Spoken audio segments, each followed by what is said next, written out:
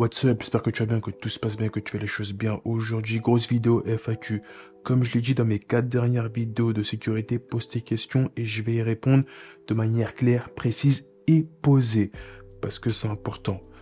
En plus, moi, je vais peut-être revenir en sécurité, refaire la sécurité, ça va être bien. Mais fais pas comme moi, hein. franchement, fais pas comme moi. Parce que, tu vois, ça fait plus de 5 ans que j'ai la carte pro et je l'ai pas renouvelée. Donc, pour repasser mon diplôme, tu vas faire ce qu'on appelle un MAC. C'est 3 ou 4 jours de formation, agent de sécurité. Moi, c'était le CQPAPS. Maintenant, ça s'appelle, euh, s'appelle comment sur ma feuille? C'est TFPAPS, tu vois Parce que je pars chercher une feuille et je t'explique. Quand tu t'y prends en retard comme moi, il faut pas le faire, il faut tout refaire. Il faut demander au CNAPS une autorisation préalable pour faire euh, son recyclage, tu vois. Ça veut dire que là, j'ai envoyé un message au CNAPS. Je dois attendre que le CNAPS me réponde pour, euh, pour leur euh, envoyer ma formation après et pour qu'on m'envoie ma carte pro. Tu vois, ça, tu peux prendre deux ou trois mois. Tu peux perdre du temps et franchement, faut faire attention. Faut vraiment s'y prendre à l'avance. Comme ça, t'as pas tout ça à faire. Donc, si tu as un recyclage à faire, fais-le le plus tôt possible c'est important. D'ailleurs, je tiens à dire une chose qui est importante, l'avenir de toutes les vidéos sécurité dépend de vous et de vos commentaires. Si tu veux que je continue à parler sécurité, pose des questions pertinentes, trouve des sujets de vidéos pertinents que je peux faire et on y va en balance des vidéos sur la sécu. Une petite question de Yanoharo2754 qui m'a dit est-ce que je peux parler de l'événementiel en sécurité sans top la vidéo? Merci mec. Je t'ai répondu, il me semble que j'ai déjà fait une vidéo sur ça, mais l'événementiel, si je peux dire des choses rapides dessus, c'est la base en sécu si tu veux te faire plus de sous, tu vois. L'événementiel, c'est quand par exemple tu fais des matchs de foot, ou alors des, événements, enfin des boîtes de nuit, euh, ou des trucs comme ça. L'événementiel, c'est bien. Ok, l'événementiel, c'est bien.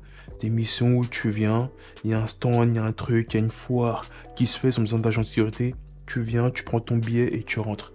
La majorité des cas, c'est au black. Donc, c'est-à-dire que tu prends du cash et tu rentres chez toi. Mais il existe de l'événementiel déclaré. Tout dépend de toi, tout dépend de ce que tu veux, tout dépend de ce que tu préfères avoir. Mais l'événementiel, c'est très bien. On a une question de Natsu Royal 9435. C'est long, mais j'ai abrégé. Il a 18 ans, puis il a un projet entrepreneurial et euh, une connaissance à parler du métier d'agent de sécurité incendie. Il s'est renseigné un peu sur la chose et apparemment, il faut éviter les centres commerciaux, magasins. Son but est de trouver une planque et un bureau où il peut ramener son PC, travailler sur ses projets en même temps que la sécu. Alors, très bon projet. Par contre, mon gars, si tu veux faire la sécu incendie, il faut passer le diplôme, le, le, TFP APS avant. Il faut passer le diplôme d'agent de sécurité avant et après le SIAP. Parce que tu peux pas juste passer le diplôme agent sécurité incendie et bosser directement au SIAP. Maintenant, c'est plus possible. Avant, peut-être que c'était possible, maintenant, c'est plus possible. Maintenant, faut le diplôme d'agent de sécurité et agent de sécurité incendie. Après, au niveau des postes que tu veux, tu veux une planque. Tu veux ce qu'on appelle un truc où tu viens, tu fais rien, t'es assis, t'es posé et t'es payé. Il existe plein de postes comme ça. Maintenant, t'as dit que les magasins, centres commerciaux et tout, faut éviter. Centre commercial, ça dépend. Centre commercial en SIAP, tu peux être bien. Pas dans tous, mais tu peux être bien. Magasin, oui, faut éviter. Là, tu seras debout, arrière caisse. Là, c'est sûr que ton ordinateur, tu pourras pas, je peux pas l'emmener, malheureusement. Donc, euh, moi, je te conseille de bosser en IGH, les grands bâtiments où tu es bien, tu es tranquille. Généralement, tu es posé tu fais rien. Ou sinon, parfois, il y a du gardiennage qui est pas mal. Mais ces postes-là, ça se trouve. Ok, là, j'ai une question de Mehdi Mehdi. C'est long, mais je vais abréger ça. Il m'a dit de parler des agents de sécurité armés. Ceux qui ont une arme de catégorie B, il y en a à Disney, le nombre de places est limité. Et il m'a dit de ça. Alors, agent de sécurité armé, on s'y approche. On s'y approche. Il y en aura beaucoup plus tard, mais pour l'instant, c'est chaud. C'est très, très chaud de rentrer dedans. Le diplôme, tu peux le passer. Mais pour trouver du taf, c'est dur.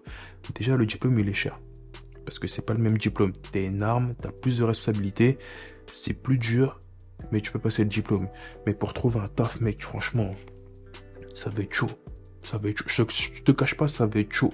Pour trouver un taf, dedans, ils vont rechercher en priorité les anciens policiers, les anciens gendarmes, anciens militaires. Tout le reste, c'est compliqué. Ils vont prendre des gens du métier. Et c'est des tafs où, pour postuler déjà les offres d'emploi, bah, tu les vois très rarement. En général, c'est du piston, c'est du bouche-oreille, comme un peu ce que j'ai fait en intervention, j'ai les pare-balles et tout, c'est bien, t'es bien payé, mais c'est beaucoup de bouche à oreille. Ça veut dire qu'il y a tellement d'agents qui vont, qui vont envoyer des collègues qu'ils ont même pas besoin de faire du recrutement. C'est bien payé, t'es payé plus de 2000 euros, parfois 3000 euros. T'es mieux payé que les policiers, t'es mieux payé que les pompiers, les gendarmes et tout. Mais pour rentrer, c'est dur. Ça veut dire que si t'es pas un ancien policier, ancien militaire, ancien gendarme, honnêtement, pour l'instant, je te conseille pas de t'orienter sur ça. Tu peux passer la formation si tu as des sous, mais pour l'instant, je te conseille pas. Après, oui, j'ai des connaissances qui sont dedans. Honnêtement, ils sont bien et ils foutent rien. Donc tout dépend de toi ce que tu veux. Si t'aimes bien l'action, si t'aimes bien aller euh, interpeller, faire des trucs, tu vas pas faire tout ça. Tu seras tranquillement euh, soit posé dans un local avec tes collègues, soit faire juste de la présence dissuasive. C'est-à-dire que tu vas marcher, on va voir que tu es armé, on va voir que tu es équipé, c'est bien. Tu vas rassurer le monde autour de toi, mais tu vas pas faire grand-chose. Et ça, il faut l'avoir en tête. Là, on a une question de Oussama Ben Achour qui va très très bien avec cette question euh, précédente, qui m'a dit, pour moi, c'est quoi le plus rentable entre agent de sécurité rapproché et agent de sécurité armé Actuellement, rapproché, c'est le plus rentable. Armé, ça paye mieux, clairement. Mais va trouver du taf en agent de sécurité armé. C'est compliqué. Ça revient à ce que j'ai dit précédemment. Mais rapprocher, c'est plus rentable. Aujourd'hui, n'importe qui peut trouver du taf en agent de sécurité rapproché. Même s'il y a quelques critères à avoir, c'est un peu dur, faut trouver ses clients et tout, mais actuellement, c'est plus rentable de bosser en rapproché. Et je sais qu'il y en a qui vont me parler d'agent de sécurité rapproché et armé. C'est bien, c'est très bien, c'est très bien payé, mais en France, il y en a peu. Parce qu'il faut trouver une boîte qui va t'embaucher et faire des dérogations nécessaires pour que tu puisses bouger avec une arme pour protéger un client. C'est dur. C'est très très dur. À l'international, ça peut se faire, mais en France, c'est très très dur. On a une question de Max Salet 9457 qui me dit quelle mission viser dans le métier de la sécurité et lesquelles sont les plus tranquilles? Alors, frérot, c'est simple quelle mission viser, il faut que tu te poses la question à toi-même. Toi, qu'est-ce que tu veux faire en sécu Il y a des postes tranquilles où tu es assis, tu fais rien. Il y a des postes où tu es debout, tu fais rien. Il y a des postes où tu es en intervention. On va dire que tu as beaucoup bougé, tu as beaucoup fait des rondes, tu vas, tu as dépensé des calories. Il y a des postes où tu es plus dans des locaux, tu es plus posé, mais quelques rondes. Il y a des postes où tu vas plus courir. Il y a des postes où tu es en voiture, tu vas faire des, des rondes en voiture. Il y a plusieurs postes. Tout dépend. Est-ce que tu veux un truc tranquille ou est-ce que tu veux un truc où tu bouges quand même? Ça, ça dépend de toi. Et je vois que tu as posé une autre question juste en dessous. Tu as dit comment avoir des postes payés 1900 net lorsqu'on est débutant. Alors, débutant ou pas débutant, ça n'a aucune incidence. Tu peux avoir des postes à 2000 euros net à 2100 quand tu es débutant. Agent de sécurité en intervention, comme je l'ai fait, c'était à plus de 2000 euros net. Débutant, ou pas. Tout dépend du coef que tu es pris.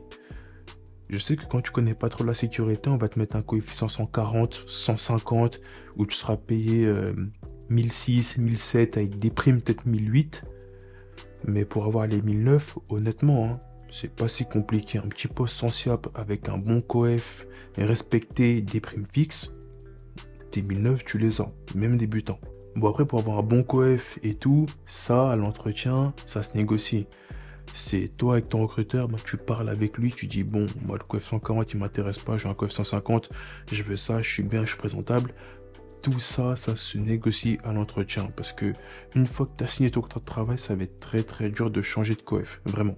J'ai une question de Momo Ali 3008 qui m'a dit de continuer mes vidéos sur la sécu. Je vais continuer et qui m'a dit est-ce que je pourrais faire des interviews sur le parcours d'un garde du corps? Ça pourrait être grave intéressant, notamment le salaire, formation, quotidien, danger, etc. Honnêtement, je suis chaud. Mais après, il faut les trouver, ces gens-là. J'ai des contacts dans la sécu et tout, mais j'en ai, tu vois, ils peuvent pas tout dire de ce qu'ils font. Mais s'il y en a qui sont ouverts à parler, à discuter, à, échanger, je suis là. Faut juste qu'ils tombent sur cette vidéo, qu'ils viennent vers moi, ou alors que, voilà, tu connais quelqu'un, tu souhaites qu'il parle, il vient sur cette chaîne, on s'assoit, on discute, on parle. Mais je suis chaud pour ça. Même des boîtes de sécurité, des boîtes qui puissent parler, dire leur offre d'emploi et tout. Moi, je suis chaud pour ça. Alors, j'ai une question de Morocco 4077 qui m'a dit qu'il a obtenu son SAP 1, euh, l'ADS, le SST, l'habitation électrique. Incroyable. Et qui me dit est-ce que je le conseille de travailler dans un magasin ou bien privilégier autre chose? Il a le bac au cas où pour aller chercher le SAP 3. Alors, tout dépend, comme j'ai dit au frérot juste avant, tout dépend où tu veux bosser. Tout dépend. Est-ce que tu souhaites plus courir? Est-ce que tu souhaites être tranquille? Tout dépend, en vrai. Si tu t'en fous, tu prends le premier taf en magasin, t'es bien. Bon, tu seras debout, c'est compliqué, mais tu seras bien. Après, t'as le SIAP et t'as l'habitation électrique. Je te conseille plus de bosser dans un poste de SIAP où il y a des infrastructures électriques. Comme ça, tu vas chercher un bon salaire. Ça, c'est bien, c'est intéressant. Et tu m'as dit aussi que tu as le bac au cas où si tu allais chercher le SAP 3. Alors, euh, le SAP 3, moi je te cache pas, je voulais grave le passer aussi. Vraiment, mais c'est mes formateurs qui m'ont déconseillé. Dans le sens, ils m'ont dit, si tu es formateur plus tard, bah c'est bien. Franchement, c'est bien. Tu as le SAP 3. Tu vas faire des formations pour ceux qui veulent faire le SIAP, SIAP 1, SIAP 2, euh, SIAP 3. C'est bien. Mais pour trouver un taf en SIAP 3, c'est dur. SAP 3, t'es un cadre. T'es pas un agent de sécurité. C'est un autre taf, le SAP 3. C'est un autre taf, il y a des responsabilités. Tu peux risquer de la prison si tu fais des choses mal parce que si, je me trompe pas, ben, tu crées des plans euh, avec des avec les infrastructures d'incendie. C'est-à-dire que tu vas les placer. Si tu les places mal, tu peux avoir des problèmes. Il y a plusieurs choses à savoir pour le SAP 3 c'est dur, mais pour trouver un poste dedans, c'est chaud. Mais à l'international, t'as un SAP 3 français, tu seras respecté. Hein. Ah, tu seras respecté. Et t'inquiète pas, bon, je sais pas si pour trouver du taf, ça va être facile. Mais si tu trouves du taf, t'inquiète pas que tu seras bien et que tu mettras tout le monde à l'abri. Max t'as encore posé une question. Non, toi, t'es incroyable. Quel type d'entreprise de sécurité visée? Alors, ça c'est bien, parce que c'est une question qu'on me le pose presque chaque jour, chaque message sur Instagram. D'ailleurs, désolé, hein, je réponds pas, je réponds pas aux messages sur la sécurité sur Instagram, mais ça c'est une question que je, vois souvent, tu vois. Toutes les entreprises sont bien en sécu, toutes. Toutes les entreprises ont des postes tranquilles et des postes euh, où tu, où tu ramasses et tu te fais le dos. Toutes les entreprises ont ça faut juste bien savoir parler à l'entretien. Juste ça, comme je dis souvent, il faut savoir dire ce que tu veux au recruteur. Si tu lui dis pas ça, il va te mettre dans un poste de merde et tu vas partir au bout de deux jours. Comme j'ai pu le faire dans plusieurs euh, postes, tu vois. Mais si tu viens, tu lui dis voilà, moi je fais ça, moi je me sens plus à l'aise comme ça, moi je me sentirais performant dans ça, ou moi je veux ça, je suis venu, j'ai fait de la sécu pour ça là on va te mettre dans un poste ou pas, ou euh, enfin qui correspond à tes critères. Et là, c'est mieux. Donc, peu importe la boîte, chaque boîte a ses avantages, chaque boîte a ses inconvénients. Certaines personnes vont dire oui, eux ils payent pas heures sup, eux ils payent, eux nanani. Toutes les boîtes c'est pareil. Le plus important c'est de trouver un poste qui te convient. Petite question de Mélissande Prod. J'espère que j'ai bien dit le, le blaze. Il m'a dit, et si on a le SAP et qu'on veut travailler que la nuit? Tu penses que ça peut le faire? Je suis deg, je passe mon SAP en ce moment. Alors, ouais, c'est pas ça, c'est parce que j'ai dit que le diplôme de SAP n'est pas rentable. Sois pas deg, c'est un très bon diplôme le SAP, très très bon diplôme. C'est juste que j'ai trouvé des postes en sécu qui sont mieux payés, beaucoup mieux payés, mieux tranquilles que le SAP. C'est tout. Mais le SAP, il est bien et je vais aussi le, repasser finalement. Parce que là où je suis, c'est mieux de bosser en SIAP. Mais ça, je referai une vidéo sur ça. Histoire de me corriger un peu sur ce que j'ai dit. Alors, si tu as le SIAP et tu bosses que la nuit, tu peux. Sachant que beaucoup de personnes demandent à bosser que la nuit, dans le sens où ils ont deux travail. Ils ont un travail en journée en sécurité et un travail la nuit en sécurité. Le travail d'agent de sécurité de nuit, c'est simple. Pour la plupart des agents, ils viennent la nuit, ils dorment sur le site. Ils se réveillent et ils vont à notre travail, tu vois. La plupart, ils font ça. La nuit, c'est bien payé. Avant, c'était très très bien payé. Maintenant, ça, je crois, ça, c'est divisé par je sais pas combien. Mais là, bosser de nuit, c'est, c'est moins avantageux qu'avant. Peut-être que tu gagnes peut-être 200 balles de plus ou j'ai pas envie de dire n'importe quoi. Mais avant, tu gagnais vraiment très très bien. Mais là, tu gagnes un peu moins, mais tu vas toujours gagner plus de nuit qu'en journée. Mais tu peux, tu dis ça à l'entreprise, en général ils sont très contents parce que les postes de nuit, vu que ça nuit à la santé et tout sur le long terme, il n'y en a pas beaucoup qui veulent les faire. Ou plus les personnes sont âgées, plus on les met pas dessus parce qu'on sait qu'ils vont dormir. Quand c'est des jeunes et tout, ben, on va les mettre. Tu peux. Il faut juste bien le dire à l'entretien. Moi je suis ouvert pour bosser la nuit, j'ai envie de bosser de nuit, tu le dis, tout simplement. Petite question de Valentino Marchetti j'espère que j'ai bien dit aussi, qui m'a dit le jour où je passe mon SIAP 1, le magasin, j'oublie, je préfère travailler pour un hôpital en SIAP qu'un magasin en tant qu'ADS. Alors, t'as raison. Vraiment, t'as raison entièrement. Mais en ADS, ça pas que le magasin. Ça, c'est ce que j'ai à tout le monde, ce que j'ai à chaque fois en ADS, il y a plein de postes. Je sais pas si tu as vu un peu les offres d'emploi sur Indeed ou sur d'autres sites d'emploi, ou même dans ta boîte de sécurité, il y a plein de postes que tu peux faire en ADS. Tu, peux faire du gardiennage où tu es tranquille, tu es assis. Tu peux travailler en bureau où tu vois, tu, tu vois quelques personnes, mais tu es tranquille. Tu fais des postes où tu es pas obligé d'être debout et faire du statique. Il y a plein de postes qui sont cool en ADS. Sur ce que tu as dit au niveau du SAP et de l'hôpital, c'est bien. C'est très bien. Par contre, beaucoup de personnes m'ont parlé euh, d'hôpital. J'ai vu. Bosser à l'hôpital, c'est bien, mais il y a bosser à l'hôpital et ton employeur c'est l'hôpital, et il y a bosser à l'hôpital et ton employeur c'est la boîte de sécurité. Là, c'est des choses qui sont totalement différentes. Tu seras mieux si ton employeur c'est l'hôpital que si ton employeur c'est la boîte de sécurité. Parce qu'en général, tous les hôpitaux, en règle générale, ils ont des agents de sécu à eux. Tu vois?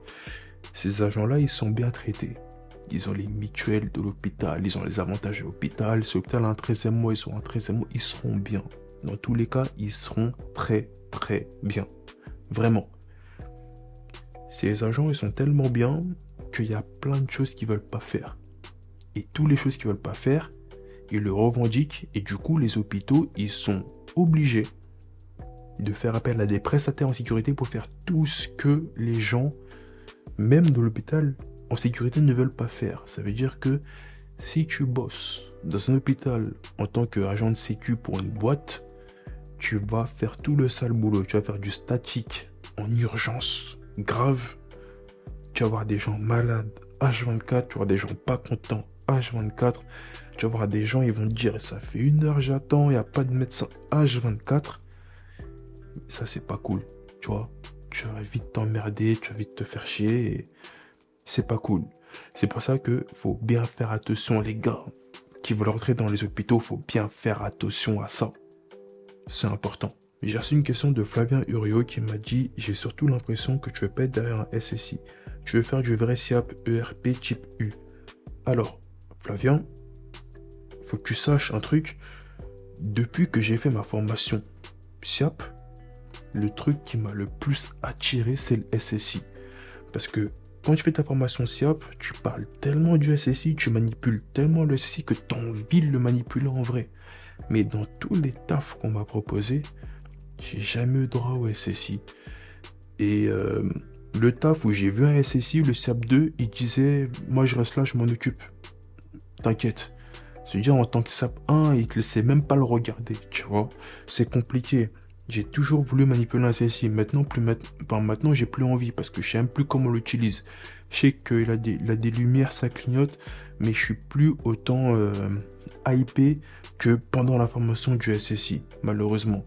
Mais si je me remets dans le truc, je me remets dans la formation, je recomprends les SSI, franchement, j'aurais kiffé le manipuler. SSI, petit rappel, système de sécurité incendie. C'est une espèce de tableau avec euh, plusieurs boutons ou euh, j'ai n'importe quoi, il y a une porte de sécurité qui est mal fermée, il y a un bouton qui va être allumé et tu vas devoir vérifier ou envoyer un agent et il y a des trucs de réarmement et tout. Bon, je fais pas un cours sur la SSI, ça fait longtemps, c'est plus de 5 ans que j'ai passé le, le SIAP.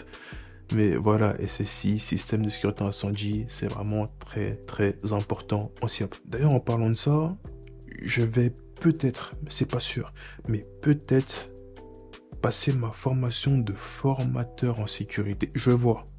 Je vais voir. Là, je vais, je vais, je vais attendre la réponse du CNAPS pour avoir euh, ma carte pro. Repasser mon Mac tranquillement, mon Mac et mon SST pour être bien, refaire la sécu, mettre des sous de côté et voir vraiment si je peux être formateur. Parce que euh, je trouve ça intéressant, je trouve ça bien, il y a des trucs à dire. Je sais pas si j'aurai la, la pédagogie nécessaire pour enseigner, mais ça peut être cool. Ça peut être un bon défi pour moi d'être formateur. Là, je dans une autre vidéo, il y a Momo Ali encore qui m'a dit je veux bien que tu parles de comment se faire un réseau dans la sécurité, communiquer, trouver des missions au bloc. C'est simple. C'est simple. Je sais pas où t'habites, je sais pas où t'es. Mais tu veux te faire des contacts. Va dans un carrefour, un Auchan, les grands. Tu vois l'agent de sécu là? Déjà tu lui dis bonjour. C'est important. Très peu de gens disent bonjour aux agents de sécurité. Bonjour, ça va, tu vas bien? Tu dis je fais la sécu, est-ce que tu as un plan? Juste ça. Tu verras que un agent de sécurité, c'est dans le partage. C'est très humain, c'est très gentil et la plupart ont des plans. Et quand tu, trouveras un agent de sécurité avec un plan qui va te ramener vers ce plan-là, faut savoir que toutes les personnes qui vont être là, ils auront des plans. Et tu auras un carnet d'adresses qui sera incroyable. Tu vas taffer tous les jours si tu veux. Commentaire de Maurice Hangar 3856 qui m'a dit tout à fait d'accord avec toi, sauf que tu as oublié de souligner la différence entre un APR et un ADS. L'APR est plus valorisé au niveau salaire que l'ADS. Parce que c'est euh, ma vidéo où j'ai dit que l'APR il n'est pas rentable comparé à l'ADS. C'est vrai. Tu as raison. Pas entièrement raison. Un APR sera plus valorisé et mieux payé qu'un ADS. Mais va trouver du travail en APR. Va. C'est dur. C'est dur. Et comme je l'ai dit, moi, euh, enfin, je sais pas si j'ai dit dans cette vidéo-là, mais tu vois, j'ai bossé en sécurité transport. Il y avait des APR de base et des ADS. Leur but était de virer tous les APR parce qu'ils coûtaient trop cher et mettre des ADS. En tant qu'APR, euh, enfin, moi je fais un APR, mais les APR, ils étaient payés 2600, 2700 euros net chaque mois. Les ADS, 2100, 2200 tu vois. On était bien en tant qu'ADS, hein. mon APR, ils étaient mieux. Et du coup, tous les APR, ils ont sorti, ils ont mis que des ADS. Avec des dérogations, des trucs comme ça. Et la majorité des postes, bah, ils font ça. Les APR, ils coûtent cher. Ils coûtent très très cher. Du coup, il y en aura moins. Comme il y en a moins, ça va être très sélectif. Et pour bosser en APR, c'est pas rentable. Honnêtement, c'est pas rentable. Tu vas devoir te battre contre les autres. C'est pas rentable. Quand je te battre, c'est te battre contre des profils similaires au tien, mieux, mieux, que, les, mieux que le tien, ça va être compliqué. Donc, c'est mieux de bosser en ADS. C'est beaucoup mieux. Alors, j'ai une question de Montagne Guts qui m'a dit qu'il n'a pas compris pourquoi tu peux pas faire autre chose, avoir un CDI dans la sécu et APR à côté. Du coup, c'est possible ou pas? 24 heures du Gala de mode, Géo et SIAP en CDI. Et une autre question un peu plus perso, as-tu entendu parler de groupe 9 académies Si oui, qu'en penses-tu? Alors, je vais commencer par la deuxième question. Toutes les boîtes de sécu centre de formation, ils sont tous bien. Ok? Ils sont tous bien. Le plus important, c'est que tu viens, tu passes ton diplôme, on te donne ton diplôme. Tout le reste, on s'en fout. Il y a parfois les prix sont plus ou moins chers que d'autres formations, mais ça, on s'en fout. Le plus important, c'est que tu aies ton diplôme. Certains centres de formation ils vont dire oui, mais nous on est en partenariat avec des marques, des entreprises qui vont te recruter après, on s'en fout de ça. Ok? Plus important, c'est que tu as cherché ton diplôme. Ok? Maintenant, sur ce que tu as dit, euh, la première question, je pense que tu t'es un peu embrouillé, ou alors je me sens embrouillé, mais ce que j'ai voulu dire, c'est que si tu as la PR, pour moi, il serait beaucoup plus rentable de bosser avec un événementiel.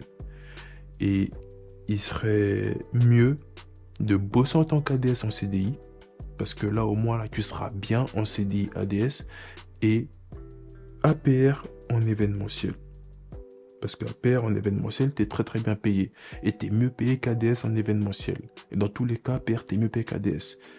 Mais en événementiel, c'est possible de trouver du bon taf en APR. Et en CDI, barrage de sécu simple ou SIAP, et là t'es bien.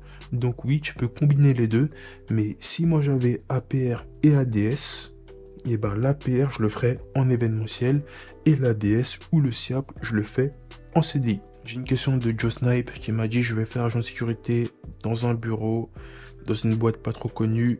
Je peux négocier le salaire et à moyen c'est 1999 euros brut. Alors ouais, il me semble que ça c'est 1400 ou 1500 euros net. Euh, ça dépend. Ça dépend.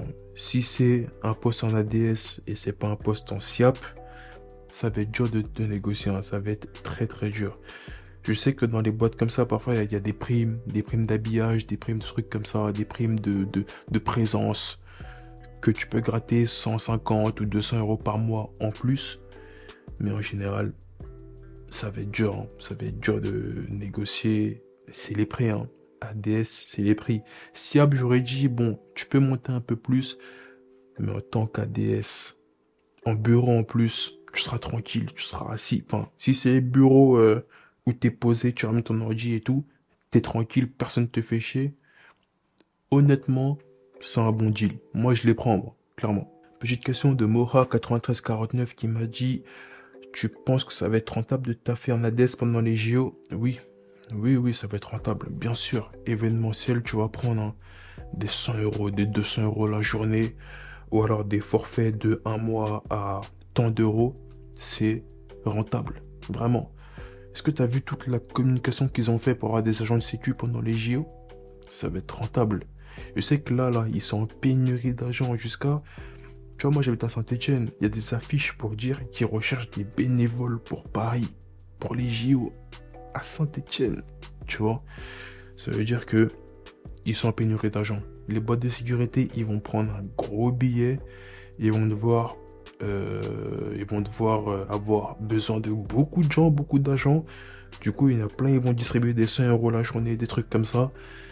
Plein de personnes vont bosser. Et si tu veux des sous, et eh ben là, prends pas tes vacances et va bosser. Ça va être rentable. Là, j'ai une question importante, intéressante de Spiment 7048 qui m'a dit si tu es bien noté par ta boîte et avec une bonne ancienneté, tu peux choisir le site que ta boîte gère, même pour les sites à l'étranger.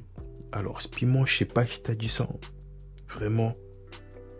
Mais je peux pas dire que c'est vrai, mais je peux pas dire que c'est faux. Dans le sens où, quand tu es bien vu par ta boîte sur un site, ta boîte ne veut pas que tu partes.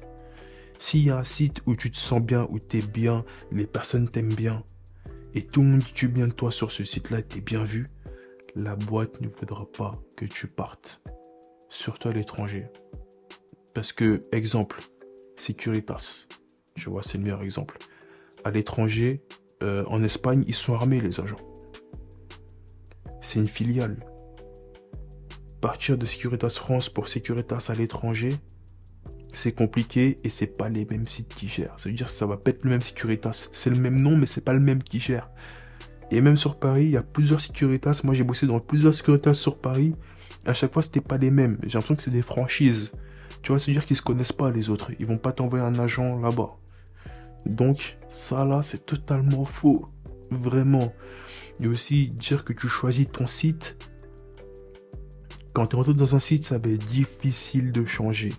La seule manière pour un agent de changer de site, c'est soit il fout la merde sur son site et les, le client dit lui je peux le voir et là on va te changer ou soit euh, la boîte de elle-même elle change de site parce que ça c'est sur son contrat ça en sécurité sur ton contrat en général quand on veut te changer de site, on veut te changer, on doit respecter une limite géographique, on te change de place pour que tu quittes de toi-même.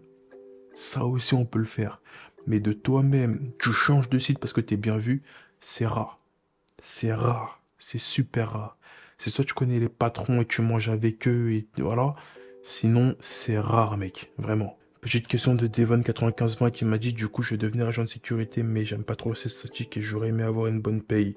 J'ai regardé tes vidéos sur le SIAP et par rapport à ton avis, tu conseillerais, après la formation, de te baser juste sur le SIAP ou pas forcément Alors, Devon, ça dépend. Ça dépend. Pour ma part, si tu passes juste le diplôme TFP, c'est ça, hein TFP, APS, agent de sécurité simple, tu veux trouver un poste où tu es bien payé. Si tu as ça plus le SIAP, tu seras mieux vu, on va dire. Tu auras plus de compétences et si tu trouves un poste en SIAP, ben, tu auras potentiellement une meilleure, une meilleure paye. D'ailleurs, faut, faut que j'en parle de ça parce qu'il y a des postes euh, en ADS qui sont bien payés dans les grandes villes. Dans les villes comme la mienne, Saint-Etienne, vaut, vaut mieux bosser en SIAP, ok? Mais les villes comme Paris, Lyon, Montpellier, ADS, tu peux trouver des pépites. Vraiment. Mais j'en parle dans d'autres vidéos parce que c'est bien et c'est intéressant. Moi, je te conseille suivant la ville que es, de tout passer. Tu peux tout passer, passe tout. Sachant que en ce moment, euh, pour l'emploi, les missions locales et tout sont très généreuses avec les diplômes d'agent de sécurité. Donc si tu peux tout passer, passe tout. Tu seras mieux avec tout. Après, tu veux pas rester debout, tu veux pas faire de statique. Ça s'entend, ça se comprend. Très peu de gens aiment le statique. Même les gens qui disent qu'ils aiment le statique, ils aiment pas le statique, ils mentent, tu vois. À l'entretien, tu parles avec le recruteur, tu dis, voilà, moi je peux pas faire du statique, j'ai un peu mal au genou, c'est compliqué, je peux pas. Moi j'ai besoin d'un poste où je marche, où je suis assis. Tu lui dis ça, il y aura aucun problème. Soit il va te dire oui, j'ai, soit il va te dire non, j'ai pas, mais dans tous les cas, tu vas trouver notre boîte de sécurité avec un poste qui te convient. Là, c'est pas vraiment une question, mais c'est un commentaire de Romain Héron qui a tout compris dans la sécu et que je voulais, je voulais remettre ça euh, dans la vidéo et le mettre en exemple un peu. Qui m'a dit Salut avec la carte pro, je suis ADS portier en boîte de nuit. Je fais 24 heures par semaine, payé 2200 euros par mois, sans un bon plan. À condition de trouver une boîte de nuit où il n'y a pas trop d'embrouille. Et si j'ai besoin de gagner plus, je fais 3 ou 4 vacations dans, enfin, en base navale ou en centrale et c'est vraiment bien. Pour ça, la sécurité. Tes vidéos, elles sont excellentes. Respect, bro. Respect à toi, mec. Hein. Tu fais 2200 en faisant quelques vacations euh, dans la semaine. boîte de nuit. C'est incroyable. C'est incroyable. Bravo, mec. Bravo.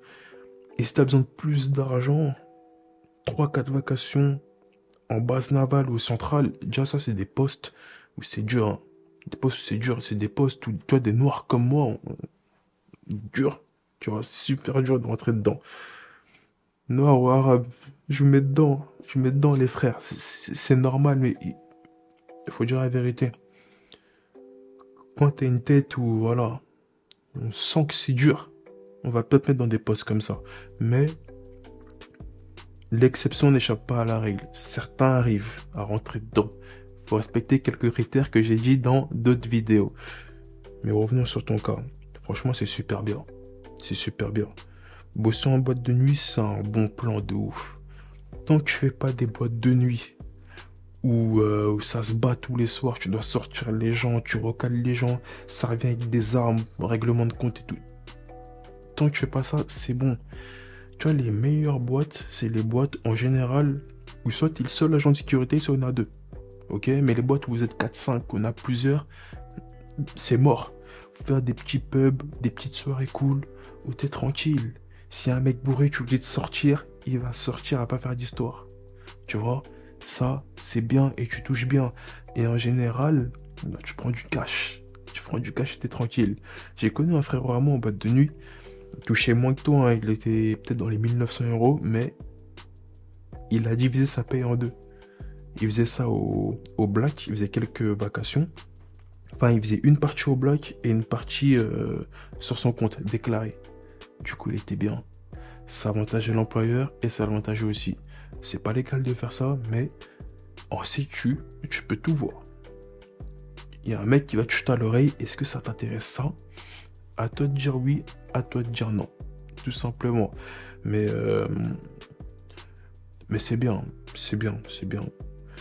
Et tu vois, c'est grâce à toi et grâce à ces commentaires-là que j'aime la sécu et j'aime parler de ça et j'ai envie de montrer aux gens que la sécu c'est pas juste le vigier la Carrefour.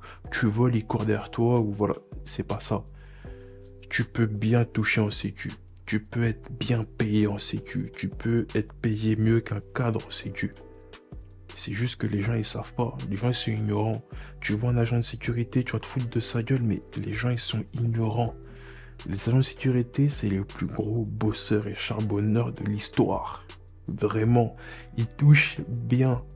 J'ai jamais vu autant de propriétaires de maisons que les agents de sécurité. Tu vois Un agent de sécurité, tu peux lui parler de jardin et de piscine. Surtout ici à Saint-Etienne où je suis. Sur Paris, il y en a, tu vois. Mais là où je suis, là, tu peux lui parler de maison, de piscine, il va te répondre normal lui aussi. Grosse voiture et tout, normal.